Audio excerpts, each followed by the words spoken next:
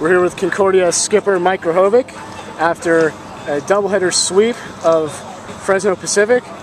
Mike, what was the game plan coming into today?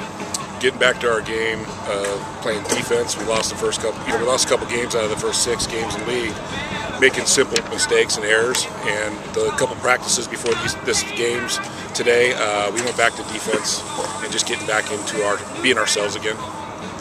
All right, and uh, so um, how does it feel to be back in the win column with these wins?